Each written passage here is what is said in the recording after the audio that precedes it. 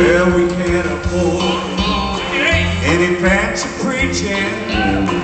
Well, we can't afford any fancy church.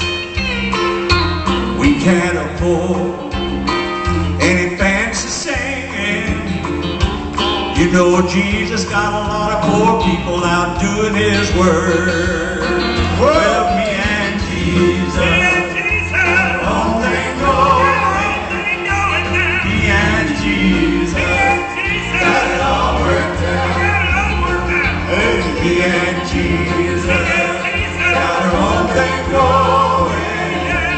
We don't need anybody to tell us what it's all about.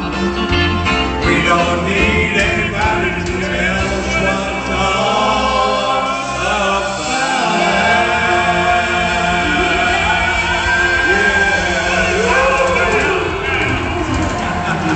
How about these old preacher boys? Let me Thank y'all so